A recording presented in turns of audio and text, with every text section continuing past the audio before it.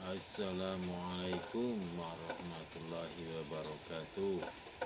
Kali ini kita akan membahas mesin cuci nyetrum ya. Untuk pengetesan, untuk menggunakan listrik kita dicolokin ke apometer. Dan bodi-bodi mesin cuci kita tempelin ke apometer. Dan ternyata ada muatannya ada nilainya walaupun mega ohm tapi tetap itu nyetrum. Berarti ada kebocoran.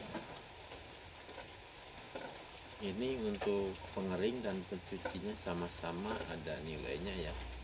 Walaupun mega ohm tapi tetap ada nilainya. Berarti ini ada yang enggak beres. Tapi kalau masalah seal kemarin itu udah diganti ya biasanya kan namanya bocor itu dari silat pengering bocor ke bawah jadi nyetrum.